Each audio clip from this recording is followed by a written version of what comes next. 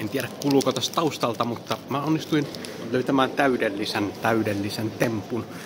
Eli kaikilla ihmisillä varmasti on hyvin selvää, että minkä näköinen kanta minulla on yleisesti erinäköisiin lappu Jeesus-ihmisiin. Ja tuolla oli nyt semmonen oikea armada niitä, eikä niitä sitten oikein pystynyt väistämään. Ja niinpä minä sitten päätin, että jos sitä ei voi kiertää, eikä sitä voi ylittää, eikä sitä voi alittaa, niin täytyy mennä suoraan läpi.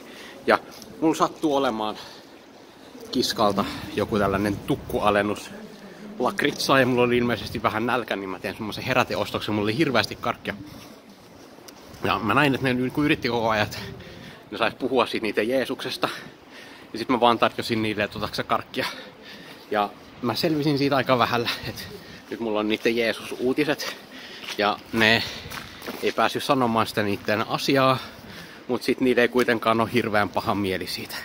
Ja tää oli mun mielestäni toimiva ottaen huomioon olosuhteet. Eli mun tavoitteet, heidän tavoitteet, heidän toteutus. Mä toivoisin, että ne teki sille toteutukselle jotain, mutta jos siitä mennään läpi ja näin vähällä selvitään, ne ei edes yhtään karkkia ottanut. This was free thing.